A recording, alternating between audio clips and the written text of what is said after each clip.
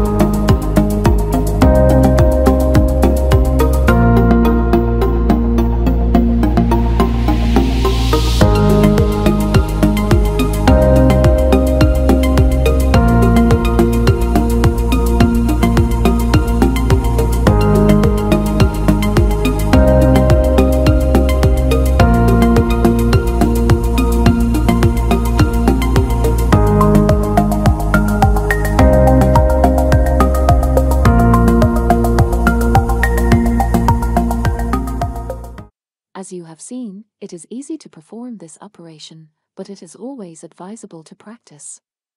Now you can see the complete model working.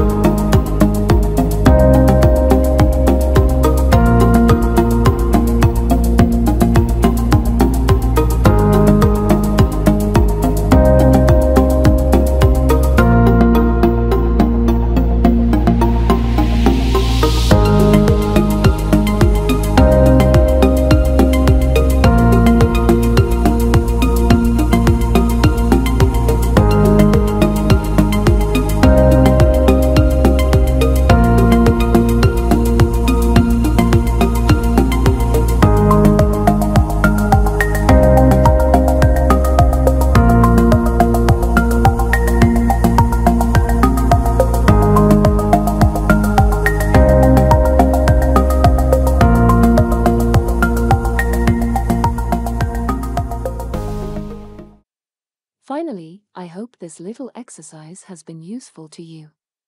See you at the next opportunity.